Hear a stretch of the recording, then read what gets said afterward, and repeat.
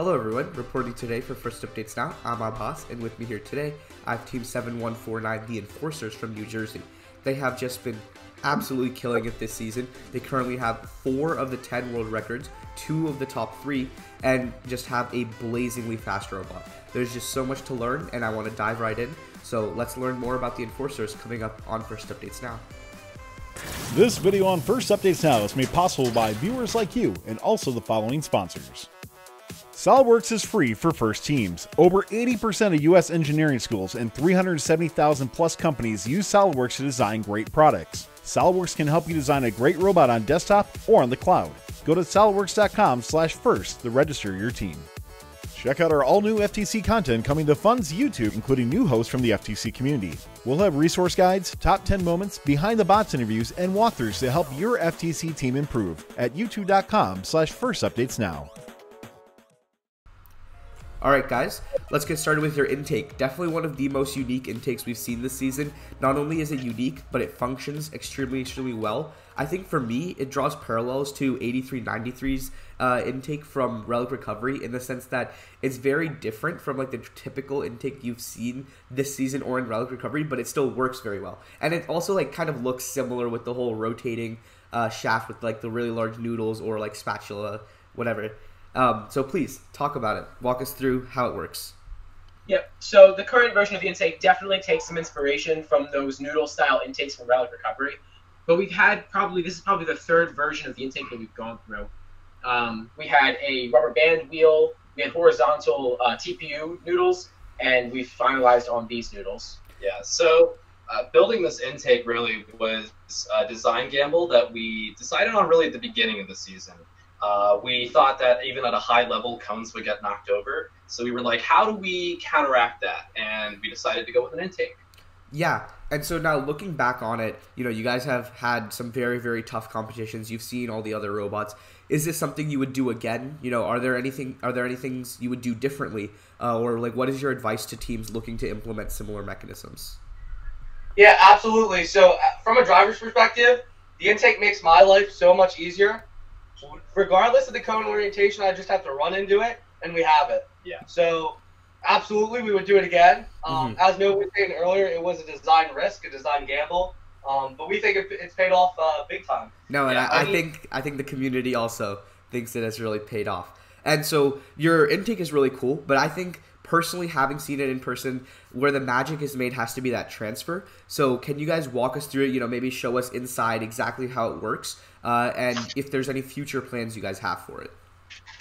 Of course. So uh, the cone comes through the front of the intake, obviously, and these noodles pull it in. Now, once it is inside the robot, uh, the cone sits in this cradle, uh, which Kyle is showing you there, and it can sit in actually two different orientations: of nose side in or large side in. hmm And either way it sits, it falls towards the center of the cradle, uh, which allows our claw to come down. And here, I'm sorry, allows our claw to come down and grab the cone right out of it. yeah. And so that grabbing mechanism, you know, talking a little bit about the software, is that automated or do the drivers have to choose like which orientation the cone is grabbed from? Uh, so the orientation isn't automated. The whole procedure is automated in the sense Mhm. that once it's in there, they press one button, goes down and grabs it and does everything they need. Uh, but then when you're ready to rotate it, you Mhm. do that once you're out of the robot. So if I just lift the lift up, we can just spin this with a wrist in either Oh. way. So I see. So it always grabs like it using the same uh, automation, but it's just after you grab it whether you rotate it or not. Yeah. Yep. yep. Okay, okay, yeah, that that makes perfect sense. And so now talking a little bit about like the sensors you have in your intake as a whole, what uh, what sensors do you use? What uh, algorithms or automations do you have that just really make you guys as fluid as you are? Uh, so one of the main sensor usages we have in our intake system is something fairly simple. Uh, on the front of our intake, we have a magnetic limit switch, uh, which kind of acts like an encoder that only reads in two positions. Uh, one when the noodles are vertical this way, and one when they're flipped 180 degrees. Oh, Um, wow. And this allows the noodles straight up and down. Uh, we found that we had issues um, with picking up the cones or pulling them out of the robot when the noodles were sticking inward like this. Mm-hmm. Uh, and also, it makes the profile of the robot a lot smaller by having them stick vertically. Uh, Yeah. The only other cool programming automation we do for the whole intake transfer is servo motion profiling to make the whole movement smoother. Yeah, and so uh, you know, before we go on to the rest of your robot, what are like the, some of the biggest iterations you guys have had on your intake, and how did you go about deciding that they needed to happen?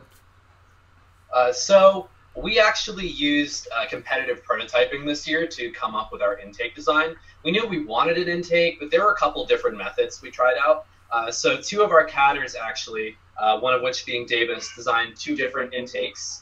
Uh, David actually worked on a horizontal version of the intake uh, with horizontal spinners. Mhm. Uh, and Chris worked on a very different looking version of this intake right here. But we did a lot of testing and we determined that the vertical noodles were Uh-huh. uh, the best for us. Yeah, no, that that's fantastic. And so, uh, jumping a little bit into the autonomous program and leading into the intake arm that you use for autonomous, have you had that arm since the beginning of the season, or is that something you added later? And you know, if so, why? Uh, so we haven't had the auto arm all season, though we kind of knew we need something like it uh, from the beginning. Uh, the intake itself can't pick up cones that are stacked up like this. It would knock them over and it wouldn't be consistent. Mhm. Uh, so once we had sort of had an intake that was somewhat finalized and started working into trying to get more cones in autonomous, Mhm. we added an arm that would allow us to go down and grab cones from the stack. Uh, so this arm is a simple inside grab and uses these hooks to grab onto the cone and lift them out.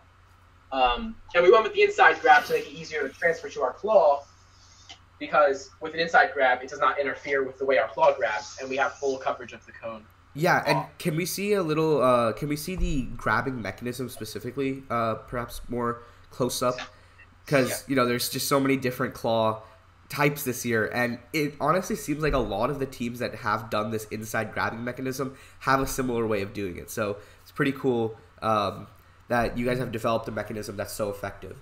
And so I guess my next question with regards to this is what do you guys use this for any other parts of the game in the sense that I know in relic recovery teams that had those relic arms like some of the top teams they would use that relic arm for example to knock down co- to knock down glyphs from the uh, from the crypto box right so like does this have any secondary feature or is your intake able to handle everything else you need Yeah, that's a great question. We actually, uh, it's something we're working on now, if Matt wants to show it off.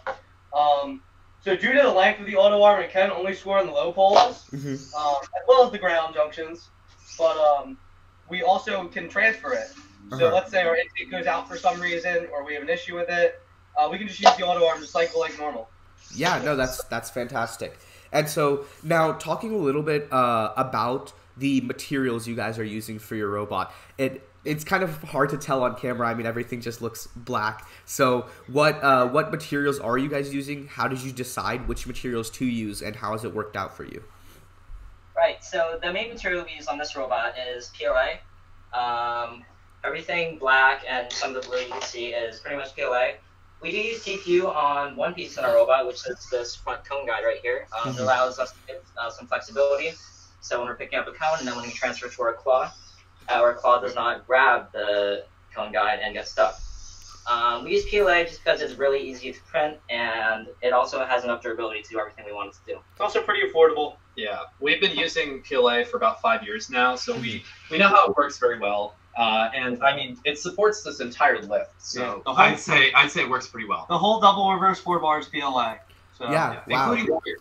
Yeah, yeah, that's including the yeah that that's really that's really impressive. I didn't know this until I saw you guys at New Jersey State. So very very interesting material choice. I mean, obviously it's worked out very well. No no complaints there. Um, and so you guys mentioned the double reverse four bar. So you know, let's just jump right in. Give us an overview of how it works, how you're powering it, and any changes you guys have made throughout the season. Yep. So initially in the season, sorry, initially in the season, uh, we had a metal double reverse four bar using some thin Gobilda uh, beams, Mhm. and the metal beams actually caused more of an issue than most of our other parts in terms of they would bend or warp, and once they bent, they kind of stayed Yeah. off position, and the whole lift would be off center. It wouldn't go up and down properly. Um, so after we troubled through that, uh, we decided to just try 3D printing it and see how hard it would be. hmm And we did break some bars, but we found little easy ways to make them stronger, reinforce them. Um, to lead us to the current state of the four bar of the double reverse four bar. Yeah, Matt says we I actually, we- yeah, I actually want to ask more uh, about that. You said you found ways to reinforce them. So was that just through uh, different slicer settings, or was that like through putting some composite materials inside? How did you do that? So yeah, so it's not by material. They're all just PLA. Mhm. Uh, but slicer settings definitely play a big role.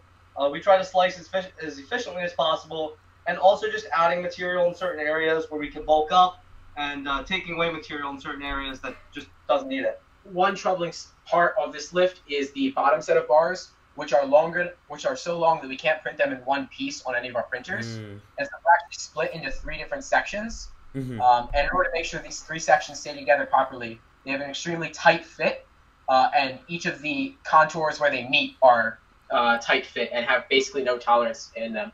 Yeah, yeah, got it. And so I see these springs you guys have here. Uh, so you know, can you talk about them? How you guys tested which spring length you would need, and how they've worked out for you?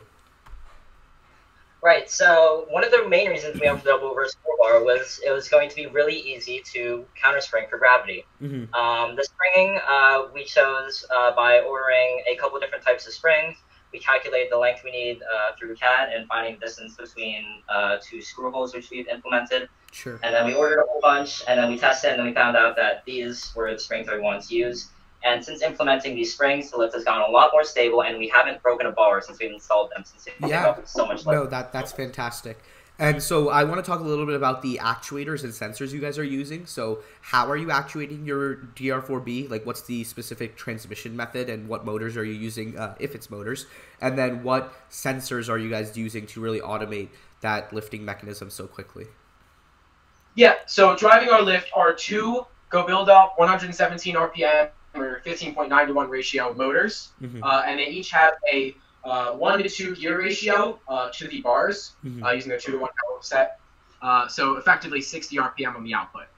Um, and in order to determine the accurate positioning of this lift, we have one potentiometer on each side of the lift to measure their angles. And programming wise, we take these angles and we find the average of them and we use a combination of motion profiling and PID control to send the lift to various heights. Yeah, and uh, you know, just getting taking a little deeper dive into the programming and the angles you said. How much variation do you guys actually have between the two potentiometers? Um, is that like you know, if you guys have that number off the top of your head? So I don't have the number off the top of my head only because we've tuned it out of the robot essentially. Mhm. Uh, we took various measurements of the voltages of the potentiometers at different angles Mhm. and determined how to properly offset them so they somewhat match angles at every level.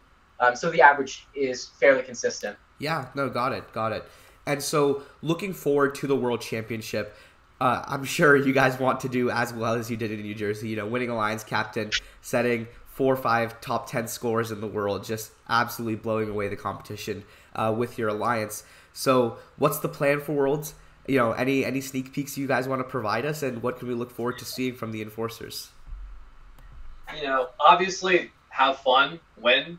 Uh, we have been working uh, a lot on our driver strategy, uh, our driver drills, uh, really making sure we nail each period of the game. Uh, we've been, you know, scouting a little bit, so uh, we've got our eyes open. awesome, guys. Well, enforcers, thank you so so much. There's just so much to talk about this robot. I think we've done a pretty good job of you know giving a deep dive into the really little things that make this robot so impressive, so fast, just fluid all around the field. I'm really glad we could do this. Thank you so much. Reporting for First Updates Now, I'm Abbas, and this is Team 7149, the Enforcers. This video on First Updates Now is made possible by viewers like you and also the following sponsors. SolidWorks is free for first teams. Over 80% of US engineering schools and 370,000 plus companies use SolidWorks to design great products. SolidWorks can help you design a great robot on desktop or on the cloud. Go to solidworks.com slash first to register your team. Check out our all-new FTC content coming to Fun's YouTube, including new hosts from the FTC community. We'll have resource guides, top 10 moments, behind the bots interviews, and walkthroughs to help your FTC team improve at youtube.com slash first updates now. Don't forget to like, subscribe, and ring the bell to stay up to date on our new videos.